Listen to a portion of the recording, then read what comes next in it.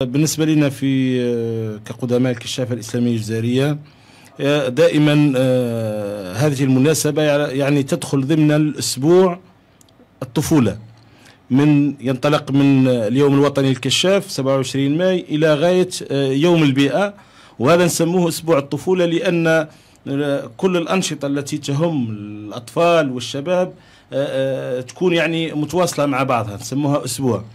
وإحيائها يتم دائما آه، بعديد يعني الأنشطة التي تنظم آه، فيها آه، مثلا مسابقات في الرسم والتي يعني تقدم على أساس يعني أحسن رسمة مثلا تعبر على حسب الشعار. يعني كل كل سنة وش يكون شعار الخاص بالبيئة.